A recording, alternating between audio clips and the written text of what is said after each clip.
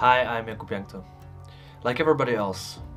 Ylli i Republikës Çeke, futbollisti Jakub Jankto, ka deklaruar se është homoseksual me anë të një video në rrjete sociale. Jankto, i cili aktualisht është i huazuar në Spartak Praga, nga skuadra e La Liga Getafe, zbuloi se është homoseksual pasi këmbguli se është i vendosur të jetojë jetën pa frikë, paragjykime dhe dhunë, por me dashuri.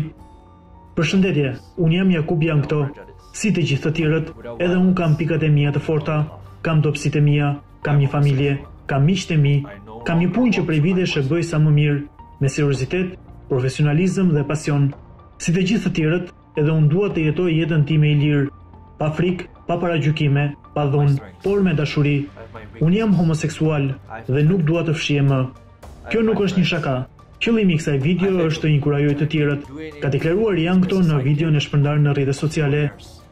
Lojtari i Getafes është një nga pak futbollistët meshkuj që ka dalë si homoseksual në vitet e fundit.